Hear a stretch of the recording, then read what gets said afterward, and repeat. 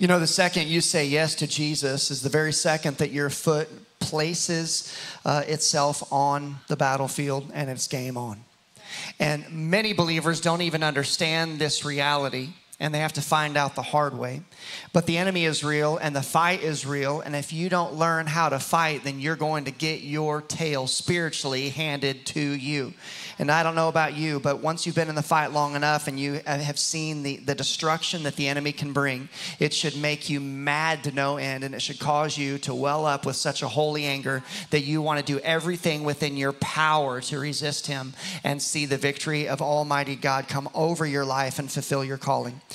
Today, we're going to move into the second part of this series that we're calling Overcoming the Enemy. If you're going to live for God, you're going to have to learn how to overcome the enemy as you defend your faith. We shared this last week, and I will share it again. It says this when you step out into faith, and that can be anything from stepping out in, in your uh, salvation and saying yes to Jesus, inviting Christ to be at the center of your life and living in your heart. It can be going public with your faith through water baptism. It can be um, testing God and trying Him in the tithe. It can be sharing sharing your faith. It can be so many things. In essence, what we're talking about is anything that you do that pleases God, that is an act of obedience to God and surrender to God, the enemy is going to come after you. He's going to attack you in an effort to get you to give up prematurely to prevent you from acquiring the promises God has for you. And before you can accomplish the good things that He planned for you years before you were ever born. Here's the reality the more you step out in the faith, the more you succeed in enduring in this battle, and, and finishing strong and finishing out the things that God has called you to do, the stronger you become and the more unstoppable you become, and the more and more and more of a threat you become to the kingdom of darkness. You see, you may not understand this today, but you need to understand it that as a believer, when you are sealed in Christ, you immediately become a threat to the kingdom of darkness. The enemy doesn't want you to know this, but you are a threat to the kingdom of darkness. Now, if you just live your life and you just live an idle, Christian life and you just slide by, you're really not much of a threat. But the more you step out and you pursue your purpose and your calling, the things that God called you to be and the things that God called you to do many, many, many years ago before you ever enter your mother's womb, the more you engage those things in your life, the more you become a threat to the enemy. And here's the reality that you need to understand God showed me this many years ago. I was just mind of my own day. And the Holy Spirit said, You know, God has, I have a plan for you. I said, Yeah, yeah, Lord, I know that. And He says, Well, do you know that the enemy also has a plan for you? And I said, Yeah, I guess now that you mention, I guess I, I do know that. He says, Then why don't you have a plan for you? And that stayed with me for, for years now. That has stayed with me, and I want it to stay with you. God has a plan for you. The enemy has a plan for you. Do you have a plan for you? You know, you hear the old adage, it's not really scripture, but it's true. If you fail to plan, you plan to fail. Don't make it your plan to fail. Don't make it your plan by default to just live this idle life and not pursue all the good things that God has in store for you. Don't live a life that immediately just defaults to surrendering to the enemy and letting him have his hand and his way in your life and in your calling. Don't give it over so easy. In Luke chapter 22, verse 31 and 32, we see Jesus, the Son of God. He is at the Last Supper. This is where he's with his disciples the night that he is going to be uh, apprehended. He's going to be taken into custody, and then they're going to execute him uh, over the next few days, he's going to give his life for you and I. So, this is a very important night. And, you know, he's having a conversation with Peter. If you know Peter, Peter has an incredible story. He's been with him doing ministry for about three years now. And, um, and Jesus is kind of letting Peter in on a little secret that not long from that moment, Peter was going to deny him. He was going to fumble and fail in his faith. How many of y'all have ever fumbled or failed in your faith? I know I have. So he's trying to give Peter just a little bit of a heads up that he was about to fumble really hard, okay? But he was trying to encourage him at the same time. And look what this says in Luke chapter 22, verse 31. And the Lord Jesus, he said, Simon, Simon. Now let's stop there just for one second because this is so interesting. What was he known by after, after Jesus changed his name? Not Simon, but what? Peter. But Peter. But in this moment, long after Jesus changed his name, how does he address him? He addresses him by the old man. Because so many times when we slip into the, our old ways, we slip into that old person, and the Lord has to remind us, hey, that's not, that's, hey, you're acting like the old you. Right. That's not who you are, remember? Remember, right. I, I died for that. Remember, you were crucified with me, and you've been raised again with me, and you're not living your right. old life. You're living by the faith that the Son of Man yeah. gave for you, and then you can live through me and in me, and this yeah. isn't you. This is the old you. How many of you guys have just had to say goodbye to the old you? Amen? Amen? Aren't you glad you did? Aren't you glad you said bye to the old you? So he's calling him Simon, Simon. If you have your paper Bible, I want to encourage you just cross out Simon and just put your name in its place. Because what I'm about to tell you is so real and it's so true, and I want this to just sit heavy in your heart. Jesus says, Simon, Simon, indeed, listen, Satan has asked for you. Now, if that doesn't creep you out, I don't know what will. Satan has asked for you. And this wasn't just for Peter, this is for you today. You need to know that Satan has asked for you. That he may sift you as wheat. That is the enemy's plan. That is what he wants to do in your life. He wants to sift you, he wants to grind you to a dust to where you are left to be nothing. He wants to wipe away your existence from this planet. He hates you and he hates God and he hates the calling of God on your life. But look what Jesus said, but I have prayed for you that your faith should not fail. Aren't you glad that we serve a God that stands at the right hand of the Father and he intercedes for you and I day and night as the enemy is making accusations and trying to convince God that we're not worthy of the grace of God, but then Jesus raises his hands and those nail scarred hands are just living proof that we are saved saved by the almighty grace of God and covered by the blood of the Lamb, aren't you thankful that Jesus is our intercessor? And so I just want you to know today three major ways that the enemy will come at you. You need to understand this as a believer. We've been pastoring for uh, many years now, and we have seen this is really just our own observation, what we have seen over the years. These are the three most common ways that we have seen the enemy come against individuals. And the, the first way is that he attacks your mind. This is the most common way. We see the enemy attacking in the mind and in so many different ways. He brings, of course, the most obvious, he brings temptation. We talk a lot about that. He tries to get you to, to displease God through the things you say, do, and think. He also tries to instill within your heart fear. The second you get bad news, immediately that fear grips your heart and you begin role playing out what it could be like and how it could end up. And then fear grips you, and here you are completely um, spiritually paralyzed.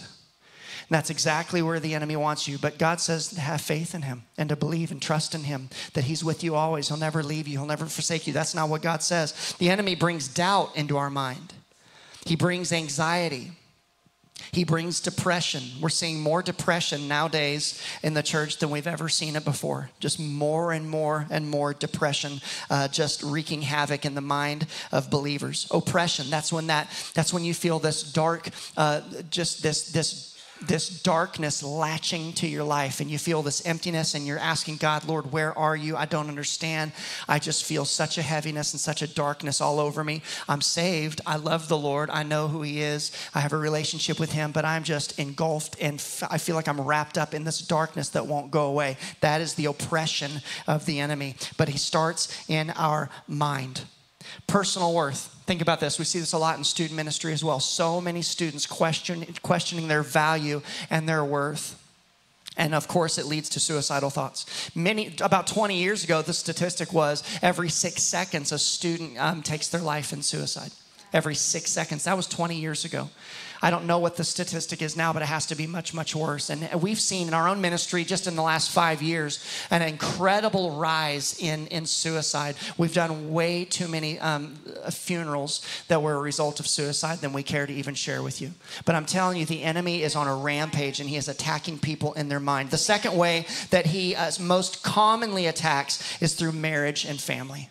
And what he'll do is he'll bring dissension in relationships. He'll he'll allow anger to weasel its way in. He'll let and that anger turns to wrath and outbursts of rage, quarreling, adultery, jealousy, greed, drunkenness. How many of you guys have have uh, are, are living proof that drunkenness makes your marriage better? No, nobody.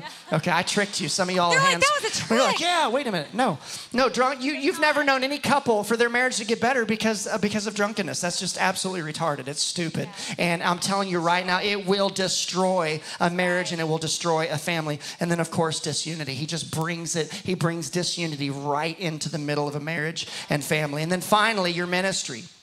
Now, a lot of you, when you hear the word ministry, I think you immediately check out because you think of ministry of doing what we're doing up here by, by sharing the gospel on a stage. Although that is ministry, that is, that is not uh, all ministry. There are many different shapes and sizes of ministry, and you need to know this before you leave this place today. You are called into the ministry. That's right.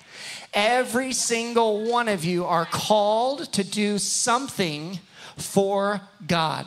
You're not called to live this life for yourself and to build up a great fortune and pass it on down to your kids, although those are great things. And it's great if you do that. And God blesses that when you do it His way. But that's not why you are here. We've done, I mentioned funerals. We've done many funerals over the years. Over the last 20 years, we've done many, many funerals. And I've never, ever stood beside somebody in their final moments and they ever say to me, Pastor Brad, I just wish I would have made more money. Or Pastor Brad, I wish I just would have built a bigger, nicer house. Or Pastor Brad, I wish I just would have, dro- you know, drove a, a, a newer car. I've never, I've never, ever heard anybody say, I wish I would have become president of my company. I've never heard anybody say that on their deathbed. But you know what is most important to people when they die? Being surrounded by family and friends and knowing that they are ready and right with God. That, that, is, that is exactly where people land and where they end up in their last final moments. They're getting right with God, most of them. And I, I'm, I'm telling you this because I want you to understand priority. You are called into ministry. And if you're not living your ministry, you're not living God's will. I'm just telling you that. How many of you guys like puzzles? Okay, I think they're demonic, but you, you can like them if you want. Frustrating to They are frustrating. I have no patience and I feel like I don't have time for them. But my grandma used to love these thousand piece puzzles. Who the heck came up with the idea of making a thousand piece puzzle? the pieces are so tiny, it you'll lose makes them. no sense. Anyway, some people like them. Obviously, more than half the room does, and the man clapping. Okay, so here's my point. Have you ever put a puzzle together and it's missing a piece? Worst thing ever, right? Makes me just want to set it on fire and throw it in the trash.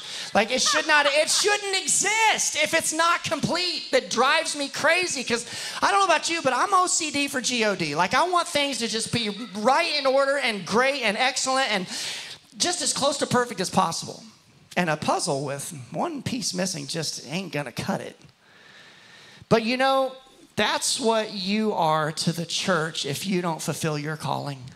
If the church is one big beautiful puzzle set out on the table, everybody doing their calling, everybody living the, you know, according to the gifts and the talents and the time and the treasure that God has given them, just using those resources to build God's kingdom and make it better and bigger and to make Jesus famous. If you're not doing your part, you are that hole right there on the table. And when people walk by, it's like, oh my gosh, that is horrible. Like, why? It makes no sense.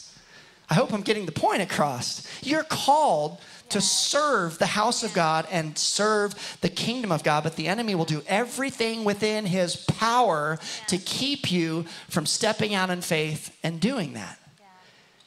And he'll try so hard to cause you to say in your mind, this is the number one excuse we hear people say, I'm just too busy. Got too much going on. It would beg to, to ask the question, what are you busy doing that is so important that it is more important than living the whole reason, living the purpose why God placed you on this planet, which is to fulfill your calling. What on earth could be more important than what God has already said is most important, and that's you fulfilling your purpose on this planet? I know I'm preaching hard. Just pull your feet back. Come on. It's all right. It's because I love you. And here's another way that the enemy will hit you is he will like us people like us that are just really you know zealous and passionate for god and for the kingdom of god and for the church And he'll use what God says is good and he'll distort it. He'll say to people like us, It's not good enough. Won't you work one more day? Because you know you're not getting enough done. All this isn't going to get done unless you just work more, work harder, do more. And if he can't get people like us, to, if he can't stop us, he pushes us and says, More, more, more, more, more, until there was a point in our ministry not many years back where we literally found ourselves completely emotionally just and, and relationally exhausted and we just wanted to quit because the enemy just pushed us and pushed us and pushed us and pushed us. You know it works both ways but he doesn't care which way, uh, you know, he just wants it to work. What, whatever it is, he just wants to make sure that it's going to work. So he's going he's going to also just convince you in your mind that you're not worthy of serving. So many people have told us over the years, man, I'm just, I, I've, I've done so many bad things and no way could God ever use me. Guys, that, that, that is the biggest lie from hell that you could ever entertain in your entire life. None of us are perfect. Do you not understand? We don't deserve to even be on this platform. Do you know that scripture says that our righteousness is as filthy rags before the Lord? None of us are righteous in our own merit in anything that we've ever done, but only because of the grace of Jesus Christ and because of his shed blood, because of his resurrection and dying for our sins, are we made worthy to share the gospel and, and fulfill the calling that he's, that he's given us in our lives. So don't let the enemy convince you that you're not worthy of doing ministry. Let me just give you a big news flash. You're to screw up. So here's my advice when you fall on your face in your faith, this is going to blow your mind because it's deep. Get up.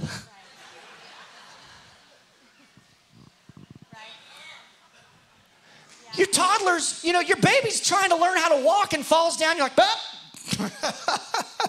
you ain't never gonna walk. Man, I tell you what. No, you pick him up and you dust off his knees. You're like, all right, come on, come on, you can do it. Do it again. Try it again. You're gonna mess up. Don't let the enemy convince you that you need to stay down. That's when you fail, it's when you stay down. But you succeed when you get up and you say, God, forgive me. That was really stupid. And I'm not going to do that again, right? Like a dog returns to its vomit. I'm not going to go back to that junk. I'm going to get up and I'm going to walk my life out for you and I'm going to please you in everything I say, do, and think. The enemy is going to try to attack your ministry. He's going to try to convince you that you're not making a difference. Has he ever done that to you? Absolutely. And you know, the Bible makes it really clear that he's a liar and he's the father of all lies. The Bible says in John 8 and 44 that he was a murderer from the beginning. He's always hated the truth. There's no truth in him. When he lies, it's consistent with his character. He is a liar and the father of all lies. You've got to know that what is going in your mind, these thoughts that the enemy places there, what you have to learn to do is you've got to learn to line them up with the truth. And the truth is right here, it's God's word. So the fact is, what the enemy, and we said this last week, what he's trying so hard to do is to keep you out of the word because then you do not know the truth from a lie. And so many people today are believing the lies. That's why there are so many people dealing with depression and oppression and suicidal thoughts and marriages that are breaking down and falling apart and ministries that are not being fulfilled because the enemy comes in. And guys, even just last week, okay, we launched this series and all hell broke loose all weekend, okay? Everything was going wrong, nothing going right. We step out here, I believe it was second service. I think if you were here, you got blessed with me making a fool out of myself as I threw my mic across the stage, okay? Never has that happened before. Here's what the enemy was doing, guys, all day that you didn't know what was happening in my head. From the get go that morning, the enemy was telling me, nobody cares.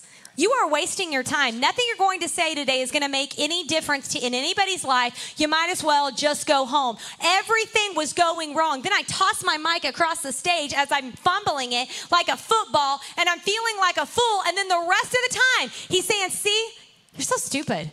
Like you should just give up and go home. Nobody cares. But can I tell you, we battle. That's what we learned to do. We battle.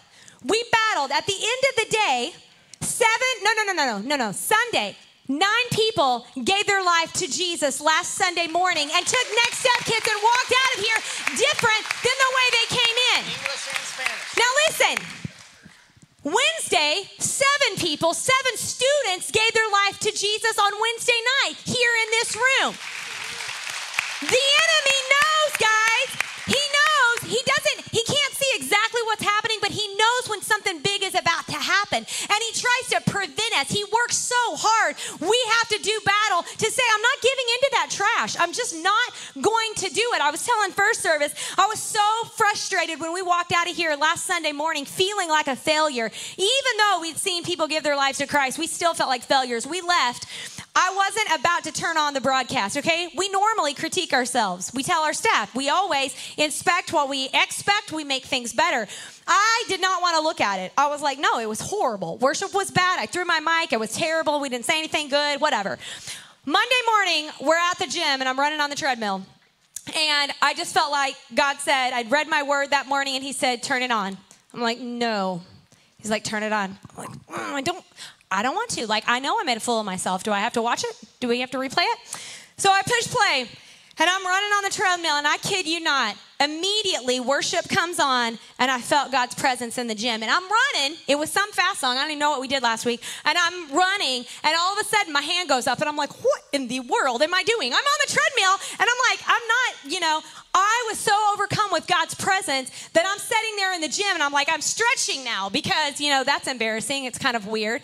And so um, we're not trying to be the you're, if, you're not, if you're not running with your arms up, just worshiping God, you're not working out right. That's, that's how you should do it. But here's the thing nobody knows what's in your ear, so they're not like, hearing it, you know? bless 'em, so I'm like, I'm a weirdo. But here's what I want you to understand through my stupid story is that everything the enemy was telling me all day long was a lie.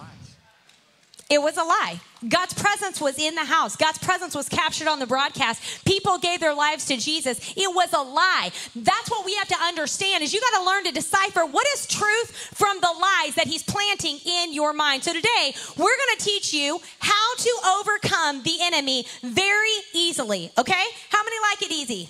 Right? Like overcoming for dummies. Like we could write a book, okay? We're going to make it so Man, I think you just offended the entire No. congregation. And How many remember the yellow books like something for dummies on every subject, right? That's how I Somebody made it got college. rich. Are you kidding me? Somebody got rich over that, okay? go with me to the book of James. We're going to go to James chapter 4. In James chapter 4, we begin to see a very easy formula. Easy to understand, not so easy to execute. But I'm going to help you today to break it down, okay? To make it easier. So, James is the brother of Jesus. He's the half brother of Jesus. And he writes these words in verse 6. He says, God resists the proud, but he gives grace to the humble. Now, James is about to lay out a formula, but before he does, he wants to lay some groundwork. He wants you to understand how God works. So he says, God resists the proud. What is the proud? The proud is the person that is self sufficient. It's the spirit of a person that says, I don't need anyone else's help. I don't need God. I can do this on my own.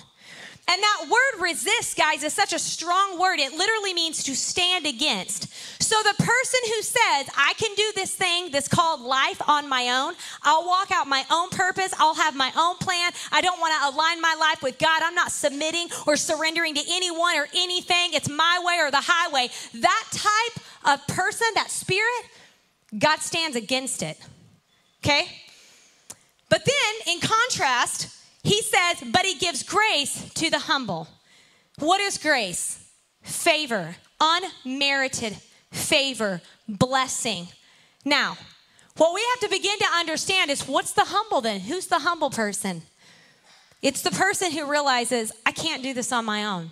And I don't want to do this on my own. I recognize there is a, a creator over the universe. I was created. I'm a created being. I do not want to have my own plan. I don't know what the future holds. God does. So I humble myself under the hand of Almighty God. I surrender my life and let Him have control. He lays this groundwork. Now, go to a verse that you've heard in your life probably before. It goes in verse 7 like this Therefore, Anytime you see the word therefore, you know you got to read the passages before it, okay? He says, therefore, having understood the groundwork I just laid and how God works, submit to God, resist the enemy, and he will flee. Clearly lays out the formula. So the first thing he says basically is this get under God's authority. Get under God's authority. Guys, the formula is so simple, but we mess it up, and here's why. We miss out on this first getting under God's authority, and we just try to resist the enemy. Because we've heard in our mind, just resist the enemy, he will flee. He's not fleeing because of you, and he's not fleeing because of me. He is a fleeing because of the power of Almighty God living on the inside of the submitted believer, the one who is subject to God's authority. And you know, we think to ourselves, yes, I've done that. I have asked Jesus into my heart. Well, let's go a little deeper into the, this word submit. Let me give you the definition. In the original language, this is what it means to place oneself under the authority of another. Now, listen, we do not like the word submit in this culture. We just don't like it. You're like, you're not telling me what to do. I'm gonna do what I wanna do when I wanna do it and how I wanna do it. That's how we like to roll, okay? Anybody ever had a kid like that? Okay, I was that kid. I raised a few of those kids. You're pointing at one another. They're like, mm hmm. I remember when Brad and I got married, and it's like, look, this is, I'm just gonna lay it out real plain, okay?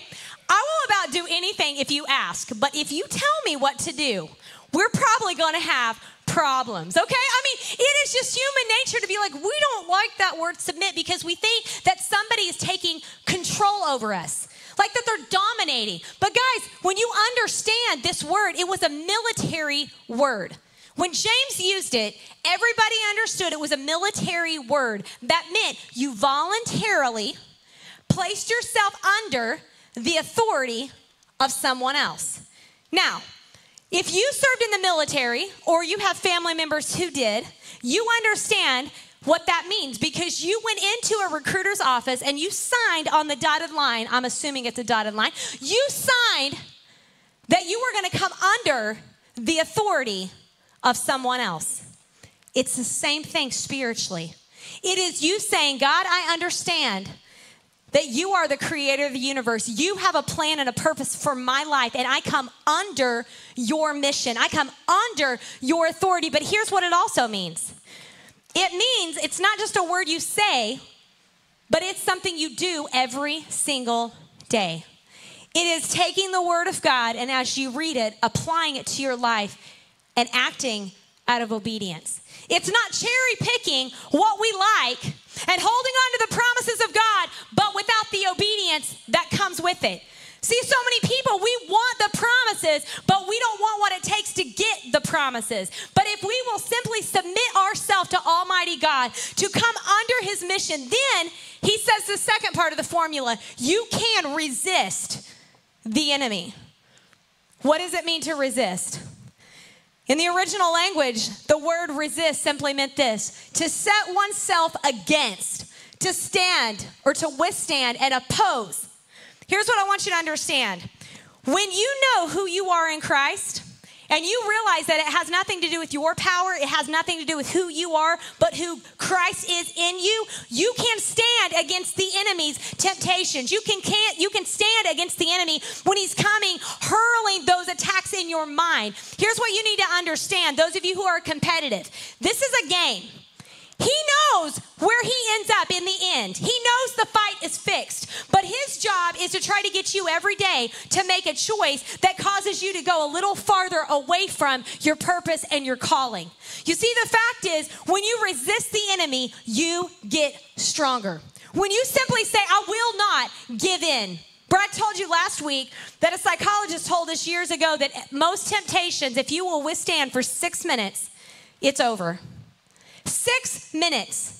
Yet pornography is the number one addiction hurling all over the internet. It's like 5 billion or beyond or beyond you know, industry that is destroying lives, not just men, but also women and families. It's one of the addictions. You know, the fact is, the enemy simply wants you to think that you will never overcome. You will never overcome the addiction. You will never, ever, ever be able to break free. But guess what, guys? I told you a while ago, he is a liar. He's a liar and the father of all lies. If you will just resist, you get stronger. And the next time you resist, you get stronger again. And the next time you resist, you get stronger again. And yes, you're going to fall down. There's going to be a time where you fall down, but guess what? You don't stay down. You get your booty back up and you get back in the game. When a football player gets taken down, do they lay out there and go, oh, that hurt? No. What in the world? We would be like, get him He's embarrassing everybody. Don't be the believer laying down because you got your tail handed to you. Get your booty back up. That's why it's so important to get in a life group, get in a small group, get around people who can say, no, no, no, no, get up. Yes, you fell, get up. We've all messed up. Get up. We're not perfect people, but guess what? We are going to give our very perfect effort as we progress in this thing called the Christian life. Can you give Jesus a hand?